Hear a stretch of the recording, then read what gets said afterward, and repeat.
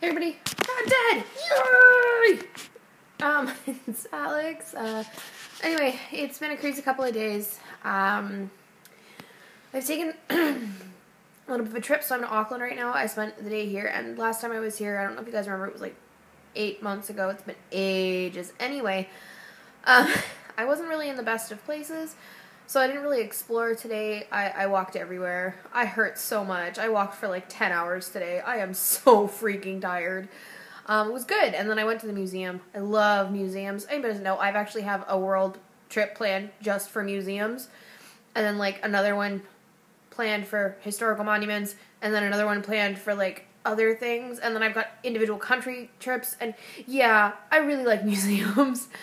um, so I plan on going to a museum, and tomorrow I'm going to meet my friend in Hamilton. We're going to hang out, and it's going to be good. Yeah, so I saw these really cool things, and they had a Spitfire, and I got to take pictures of the Spitfire, um, and a lot of uh, history of New Zealand, which was cool, because um, it's different than um, Te Papa, which is in Wellington, and um, yeah, so it was good. And I uh, oh, there's this so, so there's this um graveyard that's on a hill, um, and then there's a gorge, and then um, so I was going through this and there's a bridge that goes through the cemetery because originally um, across the way was the hospital and they put it on the outskirts of town across the gorge because in case of quarantine was needed.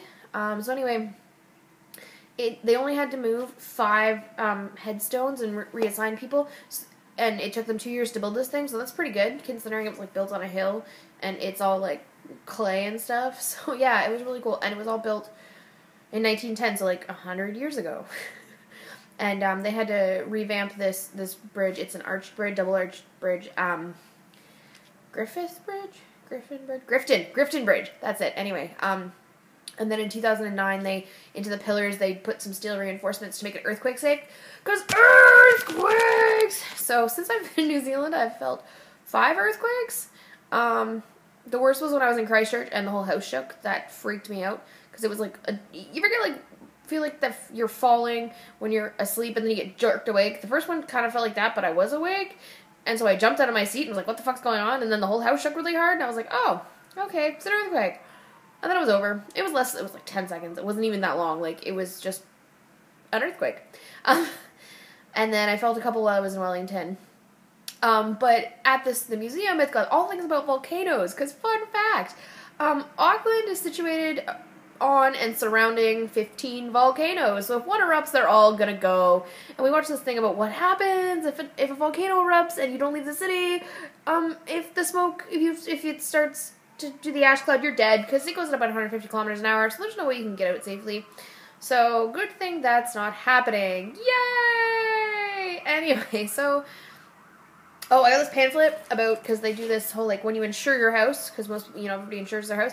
Um, earthquake and stuff is covered. And um, this is a land on fire. Ah! Um, it's very exciting because it's all about the volcanoes in New Zealand and like what type of insurance you're covered and so if you have fire insurance in Auckland, you're covered under volcano stuff too because um, they originally left it up for people to pay for their insurance um, separately, but a lot of places didn't insure for an earthquake and stuff, and then a whole bunch of people when the Hawke's Bay earthquake happened um, lost their homes, like half of Hawke's Bay. Hawke's Bay? Yeah, it's in the Hawke's Bay area. And so they were just like, nope, you're just, if you insure your house at all, it's insured under this. Everybody has insurance because it just makes it easier to claim stuff and not have to argue about it. Um, it's under the earthquake prevention people and the earthquake proof, well, earthquake safe buildings. And like in Wellington, especially because the um, I didn't know this. The equator runs like literally right through the country and right through Wellington, um, and Christchurch.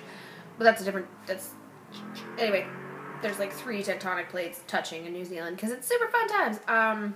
Anyway, not what I was going to say. Lost my train of thought.